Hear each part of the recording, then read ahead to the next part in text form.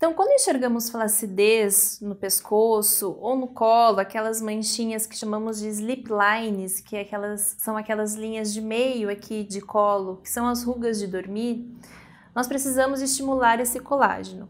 A mesoterapia, que é a aplicação de alguns fármacos que vão atuar diretamente nesse estímulo, é um tratamento muito eficaz.